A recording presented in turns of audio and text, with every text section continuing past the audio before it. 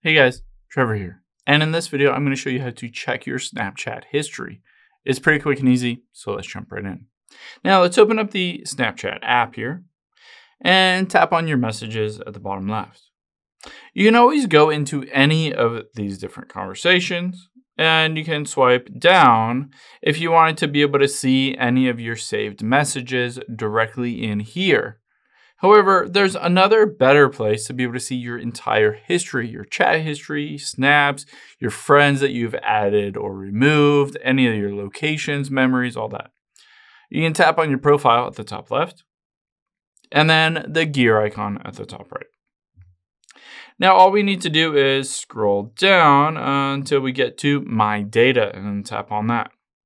This will show you all of your data to be able to download. You might need to re-log into your account, but you can see I can include my memory, chat media, shared stories, my things like account history, snap history, chat history, talk history. And then if I scroll down, I can look at the purchase history, support history, searches, selfies, cameos, memories, sounds, all of this, basically anything associated with your account will be directly on here. Now, all you have to do is hit next here, and you can choose whether you want to have the last day or the last week or last year or all time, and then just hit submit button at the bottom right. What this does is it creates a zipped file and you'll get a notification from Snapchat when it's ready.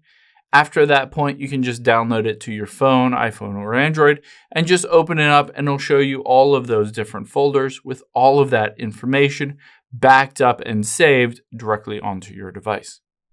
I hope this helps. If it did, hit the subscribe button down below. It really helps me out. And I'll catch you on the next one.